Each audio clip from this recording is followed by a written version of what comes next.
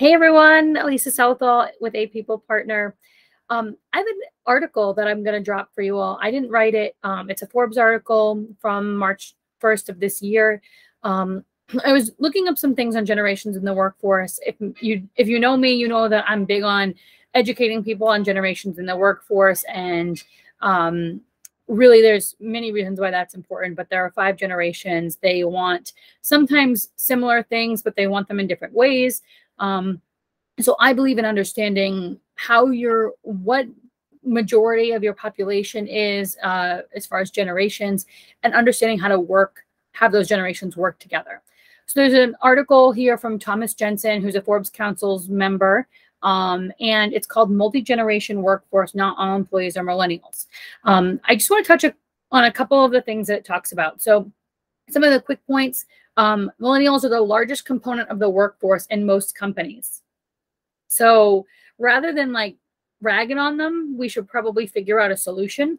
Um, and they've grown up in a purely digital context during a time when society's traditional values had significantly changed. So that's another big area that we need to consider. Um, some you know big factors that they tick off loyalty they no longer focus on loyalty toward one job or company um, patient they don't have the patience to wait three to two to three years to be successful in their job um, and they um, they want attention because they live in an environment that's changing more quickly. Um, they they don't need the attention because they live in an environment that's changing more quickly. So um, there are some examples here that outline that. Um, some of the suggestions that they bring um, build teams that include multi generations, encourage sessions in which and uh, everyone learns from each other, show that that past achievements also have value for the future while adapting to new ways of working, and um, a shared identity that evolves over time.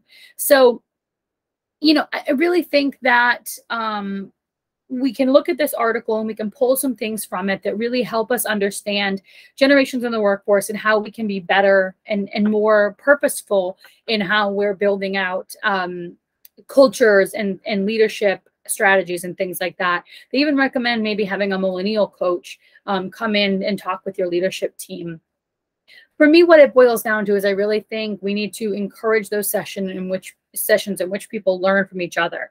Bring all the different people to the table and say, here's what we want, why we want it, right? So we're coming with a solution focus. Here's what we want, why we want it, and why we think it'll be beneficial.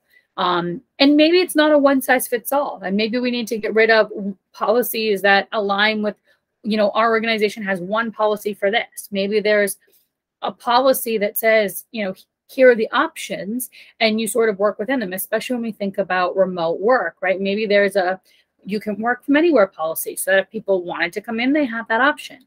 Um, anyway, you know, I don't agree with some of the strong language sometimes that it uses in uh, that this article uses, um, but I really want you to sort of digest this information and see if there's ways that you can make change in your organization.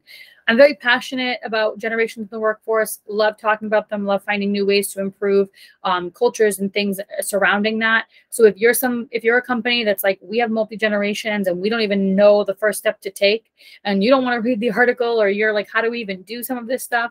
Um, call a people partner, call me and I'm happy to help you. That's one of the projects that we can work on for you. Um, so happy Friday or whatever day it is, wherever you are. Um, but I really wanted to share that with you, and hopefully, this article brings you some um, education and some value. Have a great rest of your day. Thank you.